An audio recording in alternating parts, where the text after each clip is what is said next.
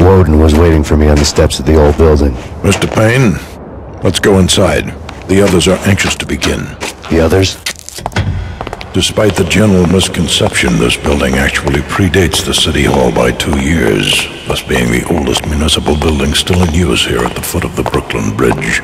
No kidding. The old man played tour guide as he led me through a dark domed hall. The answers I was after loomed large ahead.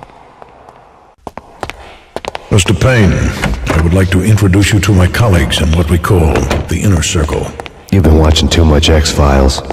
You have seen the files on Project Valhalla. We can fill the gaps, provide you with the information missing from those files. We were all involved in the early stages of the project during the Gulf War. What's the catch?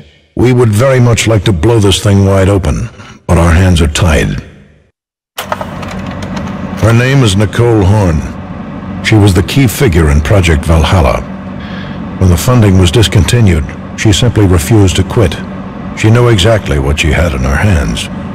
Nicole Horne is the president of Aesir Corporation. She has more than half the city in her pocket. This must be kept under wraps. If you try to go public with this, we will deny any knowledge. We need you to take her out. Afterwards, we can protect you. Make all the charges go away. That was the cue for the killer suits to kick in the doors and swarm inside.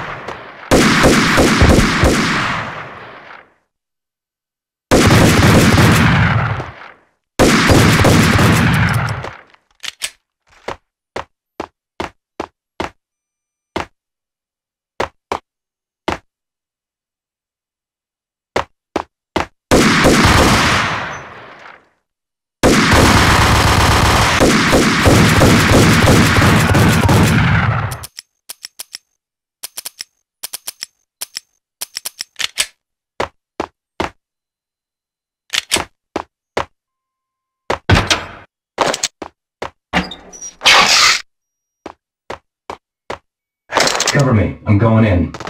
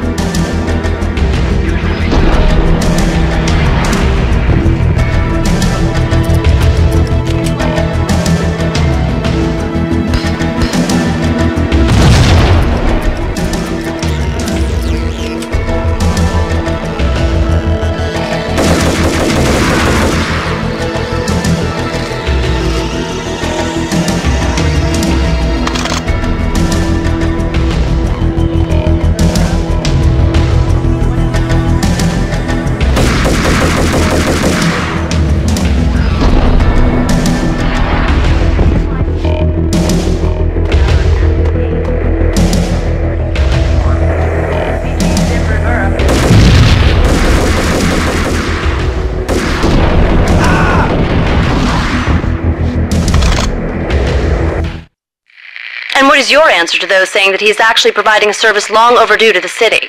This crusade nonsense has gone too far. He's out of control. It must stop. He will be stopped. That was Deputy Chief Jim Bravura from the New York City Police Department.